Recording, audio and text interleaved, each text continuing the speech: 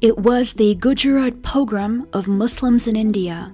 This 2002 massacre caused Prime Minister Modi to be banned from entering the United States for 10 years. It was also this pogrom where the tragedy of Bilkis Banu began. As Muslims were running for their lives, Bilkis Banu and her 16 relatives also fled their ancestral village looking for safety as their homes were being set on fire. But safety was nowhere to be found. More than 2,000 victims did not survive to tell their story. But Bilkis Banu did, this is the story of her courageous struggle for justice. Bilkis Banu's ordeal is the story of India, where Muslims, Christians, and Dalits find it almost impossible to obtain justice. The men who raped her also killed her three year old daughter and two day old niece, along with her niece's mother. That day, they killed 14 of her family members. Here is how Bilkis recounted her story to the BBC. They attacked us with swords and sticks. One of them snatched my daughter from my lap, threw her on the ground, bashing her head into a rock. Her attackers were her neighbors in the village, men she had seen almost daily while growing up.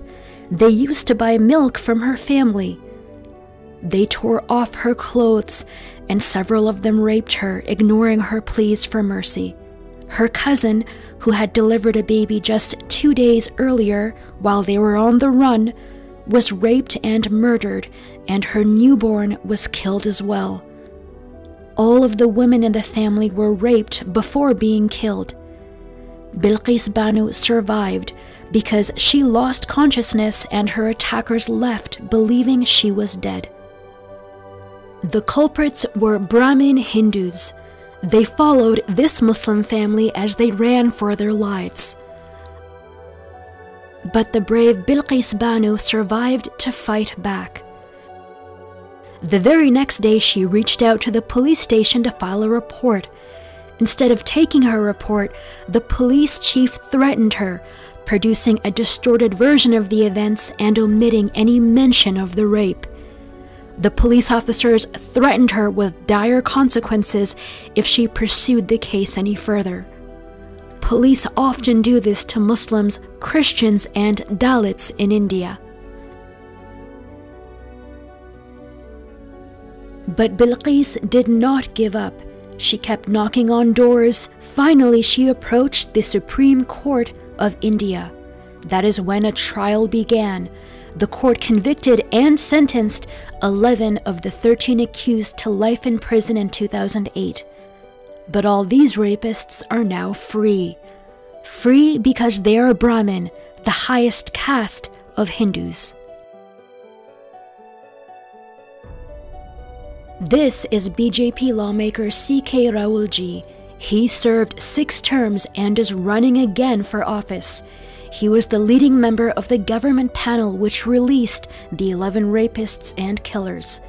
Just listen to him. भूतकाल की जो कार्यवाही है उसके family के member के जो कोई एक्टिविटी है वो बहुत अच्छी थी ब्राह्मण लोग थे He says they are Brahmins, men of good upbringing and family values.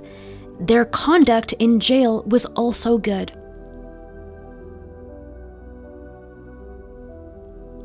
No one should be surprised at this statement. Brahmins control India. Brahmins are only 4% of India, but 45% of all prime ministers were Brahmins. The same is true about the rest of the power positions. In Hindu laws and caste system, Brahmins can get away with murder.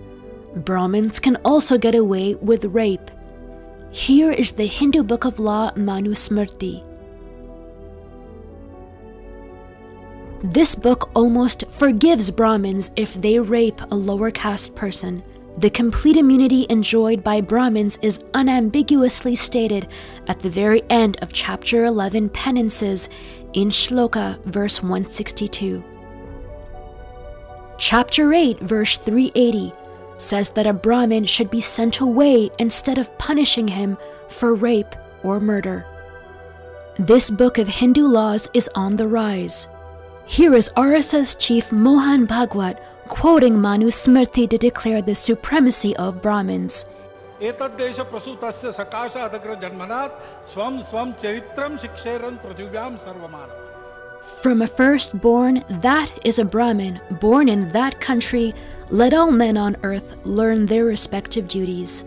This is chapter 1, page 73 of the Manu Smriti, certified by the RSS as the authentic source. He recites the following passage on August 5, 2020, at the foundation ceremony for the Ram Temple on the ruins of the Babri Mosque. The Prime Minister of India, Modi, a member of the RSS, was present as well. Many in the government opposed releasing the rapists and the killers of Bilkis's family. But RSS member Amit Shah sided with the rapists. He himself was accused in a triple murder case, but his judge was mysteriously found dead. Amit Shah's home ministry recommended the premature release of the rapists and the killers. But even before their release, the convicts enjoyed a good life while in jail. Some were paroled and furloughed for as long as 1,000 days. One of the convicts, while on parole, even reportedly molested a woman. But they are free now. They received a heroic welcome by the RSS BJP regime. Free because they are Brahmin, free because their victims were Muslims, the outcast of India. And as for Bilkis Bano, she is still fighting. She has moved homes almost a dozen times now. The fight for justice can be long but rewarding.